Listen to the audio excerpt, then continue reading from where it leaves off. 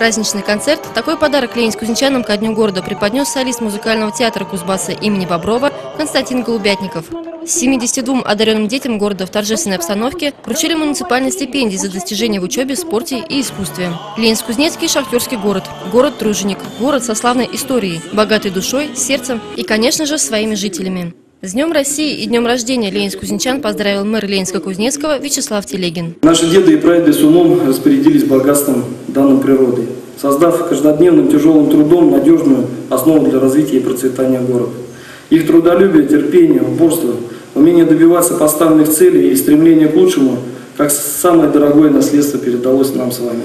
Мы не только сумели сохранить достигнутое, мы значительно приумножили славу родной земли, пополнили ее своими успехами и достижениями, сделали Ленинск-Кузнецкий заметной, яркой звездочкой на карте России.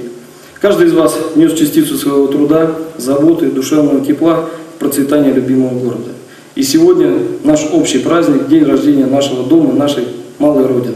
Маленький сибирский город всегда гремел своими производственными успехами на всю страну и мир. И сегодня Ленинск-Кузнецкий развивается и процветает. И это благодаря его жителям. Именно они строят свой город, делают его уютным и красивым, считает почетный гражданин Ленинска-Кузнецкого Евдокия Николаевна Клинникова. Я здесь выросла, здесь вся моя жизнь здесь и специально, здесь и дети, здесь и внуки, и все здесь. Это единственный у меня любимый город. Я куда бы ни уезжала, возвращаясь, вижу свои окраины, это родное место. Это самое хорошо мне здесь тихо, тихо и спокойно, замечательно. Ну вот городу исполняется 87 лет. Как думаете, это много или мало?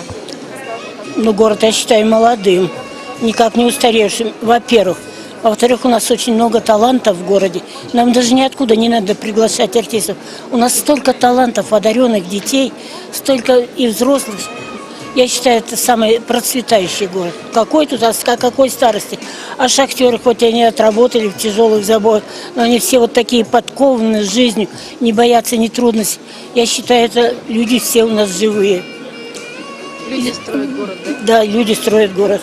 И то, что он сейчас вот расстраивается, то, что он хорошеет с каждым днем, я бы сказала, это все меня радует.